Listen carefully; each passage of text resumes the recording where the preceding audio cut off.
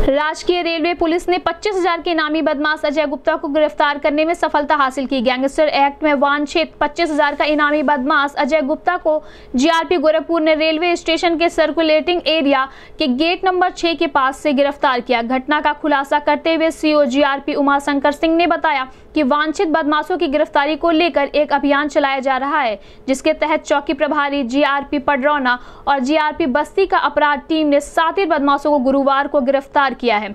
CO के मुताबिक SP railway gangster के वांछित बदमाश अजय गुप्ता पर पच्चीस हज़ार का इनाम भी घोषित किया गया था।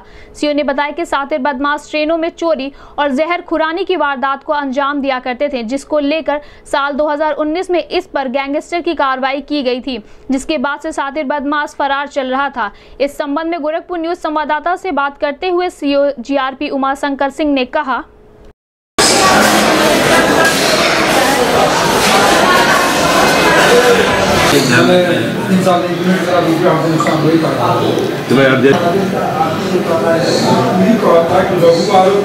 वो आज एक शातिर अपराधी जो आठ मुकदमों में उसकी तलाश थी, जिसमें गैंगस्टर का भी एक मुकदमा था, और वो पुलिस अधीक्षक महोदय द्वारा एक टीम बनाया गया था, वो टीम के हत्थे चढ़ा और इसकी काफ़ी दिन से पुलिस तलाश कर रही थी।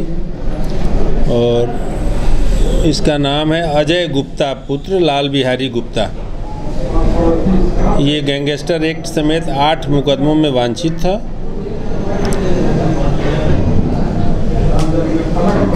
पुलिस उप निरीक्षक उपेंद्र श्रीवास्तव, राघवेंद्र यादव इत्यादि की टीम ने गिरफ़्तार किया उसको। जेल भेजा जा रहा है। ये हमें 2017 से इसकी तलाश थी।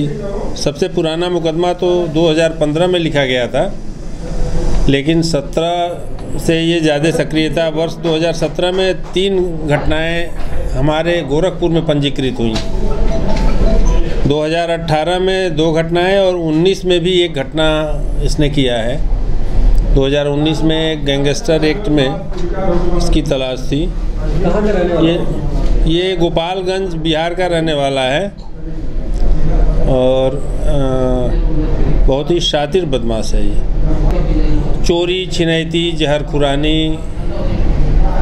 और जो भी क्राइम स्टेशन पर हो सकते थे, वो सब में इन्वॉल्वमेंट इनका था।